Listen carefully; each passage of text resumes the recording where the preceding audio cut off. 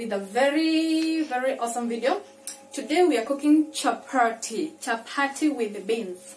A simple recipe very simple actually.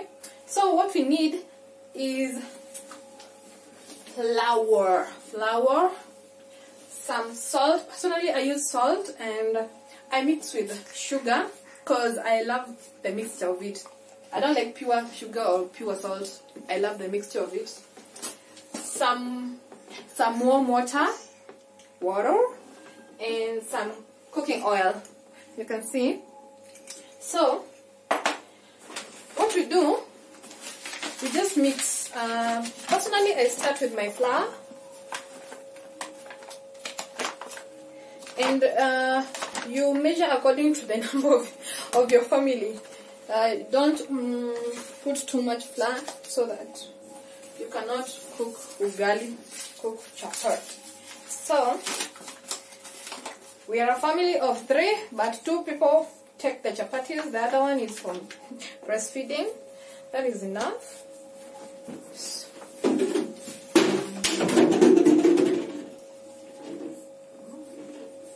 So as I said in my previous video, me personally I don't measure my salt with a measuring spoon.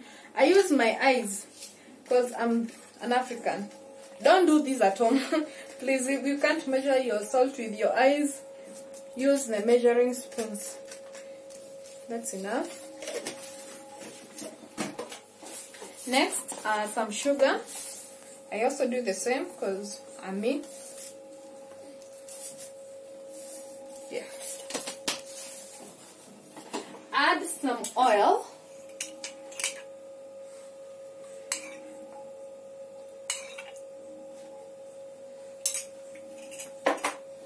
And mix. So, I'm cooking the simplest style of cooking chapati when you don't have time to wait for hours. So, personally, um, I add some warm water. I don't like cold water, so this is warm. It's good for your hands. And make sure your hands are clean so that you cannot cook that chapatis. So you just need pole pole, slowly by slowly until your dough is uh, formed. You just keep adding water in small portions and kneading. It may look that dirty like some dirty work but this is the only process you have to use so that you can make your chapatis. So guys me I love chapatis so much I can even wake up at midnight to cook them because I love wheat. I don't know what happened when I was pregnant with my baby boy. Hey, I had cravings for chapatis. I would wake up at midnight to cook them. And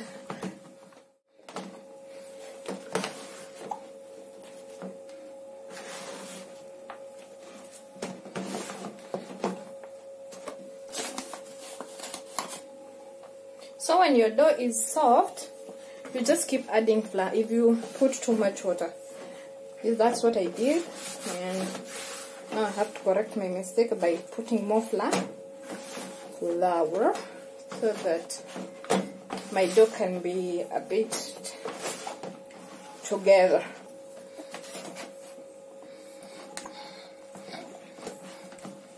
So this is what you do. You just need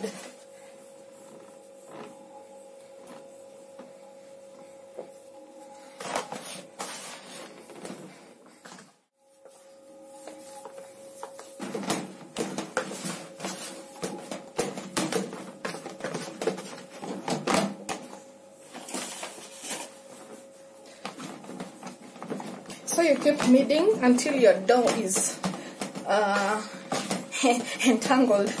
As I always say I don't know the word to use when you're kneading your flour to make it a strong dough so that when you make your chapatis they are not too soft or too hard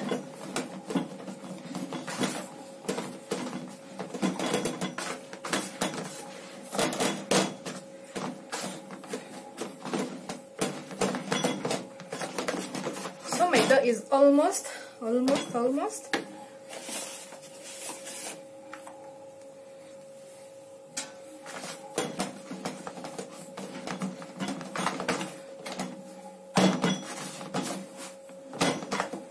You add some oil too to make it it's like garnishing your dough so that's what I do personally I don't know how you other people do it but I'm using my own formula.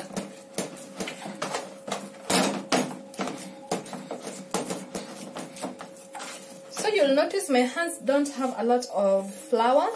It's already in the dough. And the secret is just kneading. You keep kneading until your dough is this smooth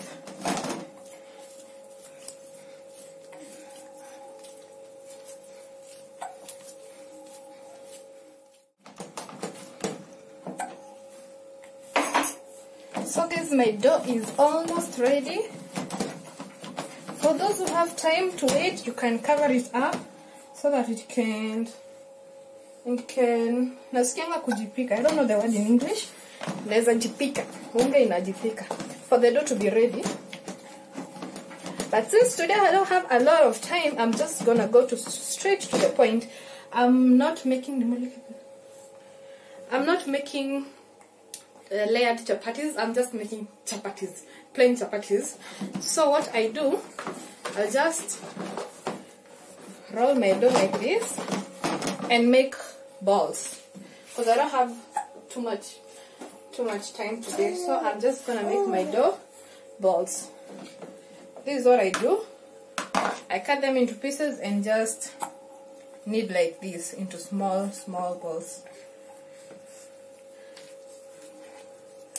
those are dough balls if you feel the dough is too soft and it feels thick on the pan, you just add some flour and then you just roll like this and place.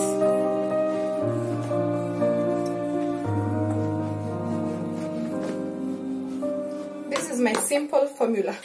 I do everything with my hands. I measure the size with my hands. I measure the texture with my hands. I don't know. I'm too African. Hizi vitu za kupima, I, I don't use them, so Forgive me, people who use measuring cups and spoons. I'm just showing the simplest way, the quickest, simplest ways to knead your chapatis and cook your chapatis.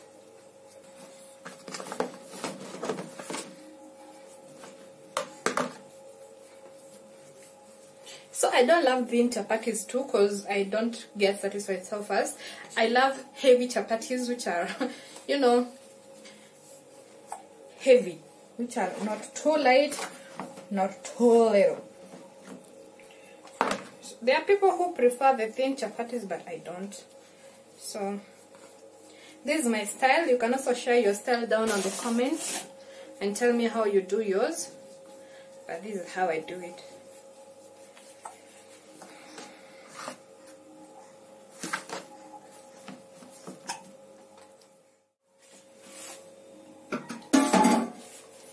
So my balls are ready. So it's just cooking. So I place the pan. So I'm African. I love counting my chapatis so that I know how to cook them because I don't like cooking one one one by one. So I go like 2 2 4 6 8 10 12 14 so do the math how many I'll be cooking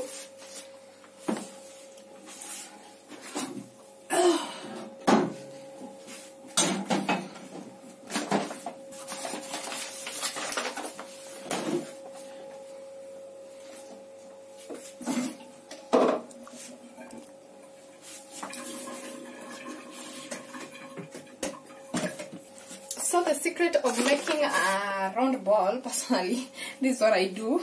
I place it here, then I just flatten with my hand, then I use this, uh, the motor of the chapatis. Rolling pin. Rolling pin, thank you. I use the rolling pin to make the shapes. I'm sorry, I, I really don't love using this stuff because it makes a lot of noise and it's it takes me more time to make the shapes.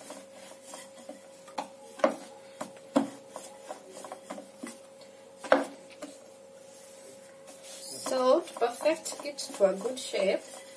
I think just need to practice. So me, that's the can go. I think it's a good shape.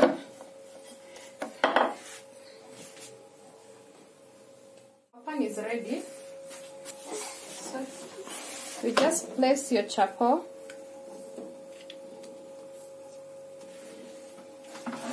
and you make you make the next one because uh, time won't wait for you. So personally, I cook three three charcoals. That's a technique I learned from my mom, and it saves time.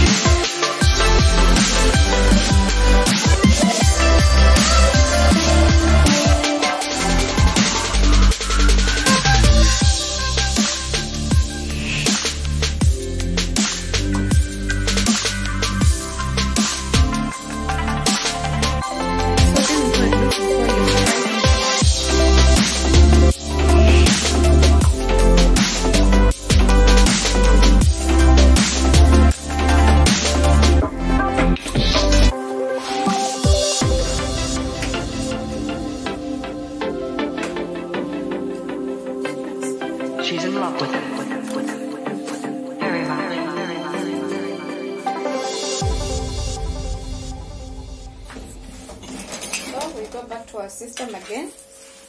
The three chapatis. You cook like that.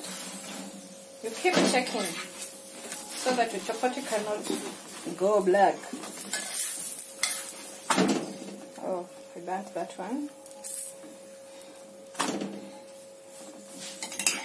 Chapati number two. Keep rolling.